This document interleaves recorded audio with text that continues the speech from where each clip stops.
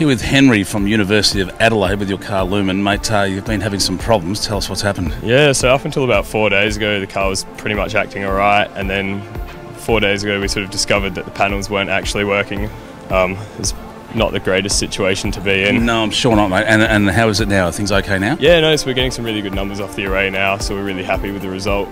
I'm uh, Kota Fukuda at Tokai University, Japan. I'm a team, a team director of the Tokai University solar car team. Uh, this is the first time to use uh, Bridgestone tires for WSC. Uh, we satisfied uh, uh, performance of the Bridgestone tires and uh, very excited to uh, start a race. Hello, my name is Elise Nennings and I'm from Solar Team Twente. We are from a team from Holland and we are participating in the World Solar Challenge for the sixth time this year. So uh, it's going to be an exciting race. This is KIT Solar Car team. We from Japan.